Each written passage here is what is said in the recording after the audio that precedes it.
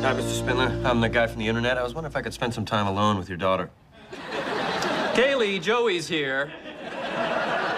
You two have a great time. I'm gonna take a walk around the block and see what's what. You're actually pretty cool.